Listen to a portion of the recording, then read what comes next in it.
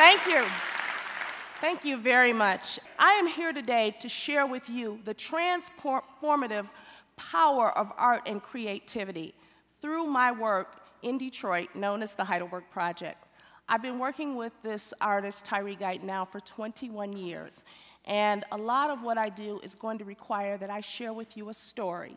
I want to talk to you a little bit about the transformative power, but then I want to show you a little bit about what that looks like, and then I want to share with you what this work is teaching us because we're still in the throes of this work.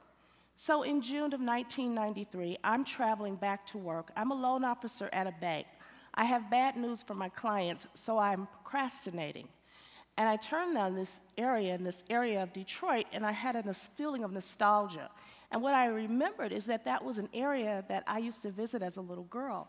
So I tried to turn down a street called Benson, and a car was on my tail and literally forced me down Heidelberg Street. This was in 1993. My mouth dropped open, and unbeknownst to me, the artist was sitting on the curb, and I literally said to this man, What in the hell is all of this? And I remember thinking, This man needs to get a job because he's got too much time on his hands. So he says to me, well, why don't you get out and check it out? Militant, kind of, you know, kind of gruff. And I said, okay. So I locked my doors and I got out and I started to talk to this man. Nothing real deep and esoteric coming out of his mouth, but the children that were circling around him in this neighborhood, this poor neighborhood, were amazed. They were amazing children because they were flocking around this man, not for money, not for candy, but a paintbrush. And I found that fascinating. So I went back and back and back. And a year later, I literally gave up corporate America, profit sharing, and all that to come and run an arts organization that I had no clue what I was doing.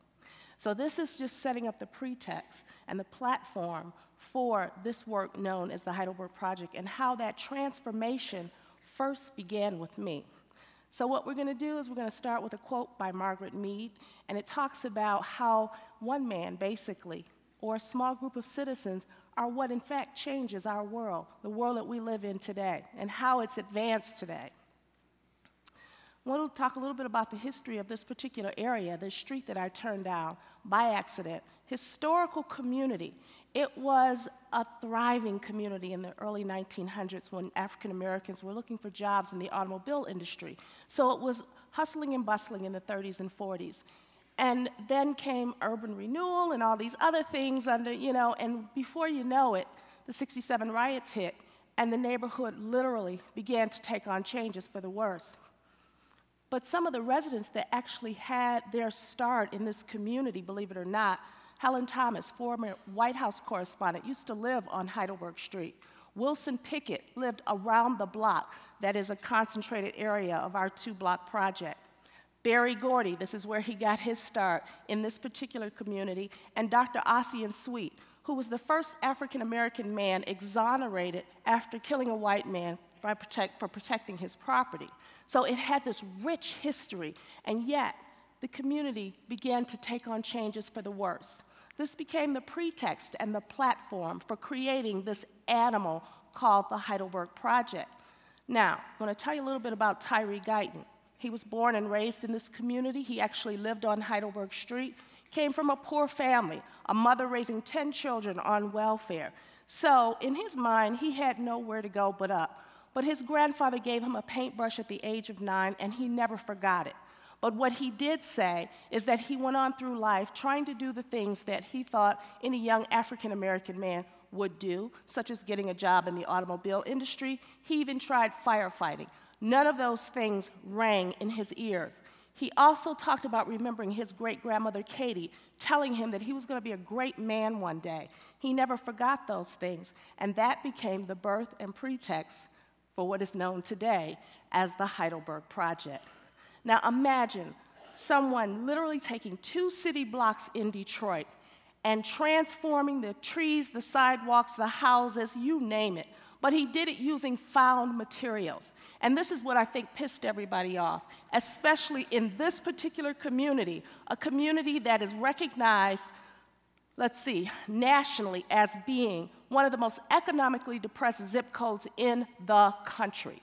The African American male mortality rate is a staggering 55%, What that translates to is that young men between the ages of 14 and 28 only have a 45% chance of escaping death or jail.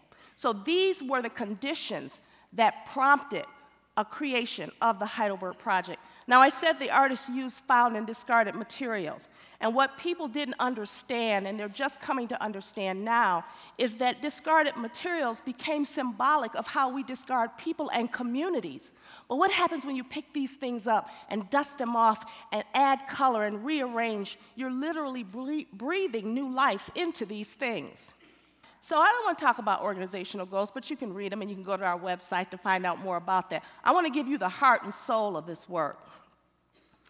Here's a theme this is resembling a church pew. The shoes inside are resembling, a, are resembling the people, and the cash register on top is resembling big business. So, what the artist introduces in his themes are the conditions in society. There are more churches in the city of Detroit than there are schools, so we question why our communities look the way they do.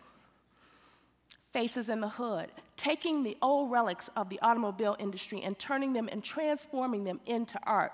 We just came off a very successful art show, and works like these, believe it or not, do sell for about seven to eight thousand dollars. But the artist pours a lot of that money right back into the community. Children, art, community, and environmental education. We are teaching children how to care for their community and teaching them to understand you don't have to leave your community to be successful. You just need to learn how to create again. Community engagement. What our work is doing is it's kind of bringing a new science into our minds. We're beginning to think and believe that this work is informing us in such a way that we are now introducing a new ology, and we call it Heidelbergology. So the concept is, is that found objects are studied, and they are the materials that we use and we're infusing it into the fabric and landscape of a community. And then we're studying the effects on that community. It gives birth to three practices abstract advocacy, art as a medicine, and art as a catalyst for change. Abstract advocacy, basically, new information in the short term, it changes attitudes, in the long term, it changes behavior. Here's an example Justin was two years old born and raised on Heidelberg Street, comes from three generations of otherwise behavior. Today, he is an all A student. He is at Central Michigan University on a sports scholarship, but he is studying biochemistry. Now, how do you get that out of an art project? This is what we're, this is what we're talking about. Art as a medicine, men that are incarcerated, who have nowhere to go, who don't know how to get themselves ingratiated back into the community. They come to the Heidelberg Project and they get an opportunity to work with a man who understands their challenges. Tyree having lost four brothers to the streets himself. So he is teaching.